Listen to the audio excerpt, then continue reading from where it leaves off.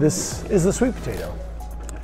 It's probably the widest, least amount of rocker, and thickest surfboard you will ever surf. This is small wave grovel, fast and fun. It's just the absolute most fun you can have in really bad waves. You can now ride a shortboard where there's longboarders. You can always keep it in your trunk so you can surf the junk. From no paddle takeoffs to buttery floaters. More skate than any other shape. And it catches waves before they even break. It's high performance, but it's definitely a groveler. That's it, sweet potato.